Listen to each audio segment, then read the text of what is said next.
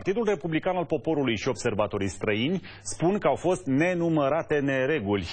Intrăm acum în legătură directă cu trimisul nostru special Alex Costache. Alex, bun găsit din nou. Ce șanse are totuși demersul opoziției?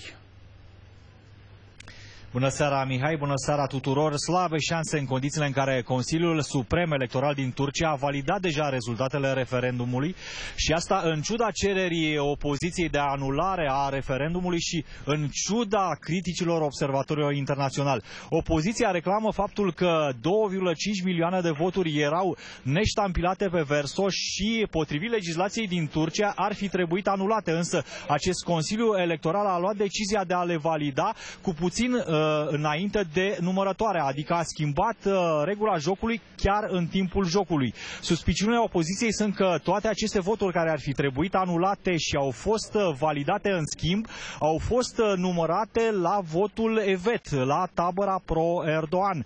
Observatorii de la Consiliul Europei au spus că această decizie de validare a voturilor care ar fi trebuit anulate a încălcat legislația, însă cu puțin timp în urmă, președintele Erdogan, într-un discurs de la Ankara, le-a răspuns și le-a spus să-și vadă lungul nasului. De altfel, Erdogan a spus că deja guvernul, uh, prin Ministerul Justiției, uh, a început uh, să lucreze la implementarea schimbărilor propuse de referendum și insistă Erdogan pe introducerea pedepsei cu moartea, ceea ce ar arunca în aer relațiile Turciei cu Uniunea Europeană.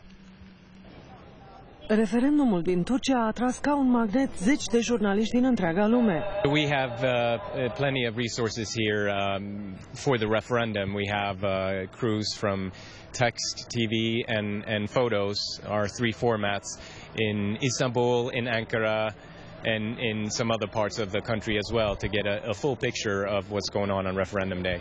Turcii care au votat nu sunt nemulțumiți, dar acceptă rezultatul votului. Evet or hayır referendum? Evet. because um, I think it's better so. I'm not gonna protest because uh, the people wanted that, but uh, I'm going to continue my education and try to educate my citizens. Hayır. Why? Because I don't want uh, one man to have so much power.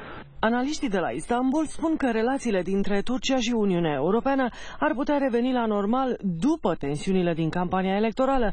Erdogan ar trebui să renunțe însă la ideea de a reintroduce pedepsa cu moartea, așa cum promite. Turkey would not like to be the one who would break the relations with European Union. And the European Union's message has been um, very clear. If you endorse capital punishment, that will be the end of the relationship. I don't think that Turkey will uh, take a step back from uh, its persistence of not changing the terror, anti-terror legislation. But if, if politically the two sides uh, decide to make this relation work, they would be able to come up with a formula. Turcia vrea să își reînnoiască tratatul vamal cu Uniunea Europeană și să obțină eliminarea vizelor pentru călătoriile pe bătrânul continent. În același timp, Uniunea Europeană e interesată în menținerea tratatului privind refugiații, pentru a ține piept asaltului migranților asupra Europei.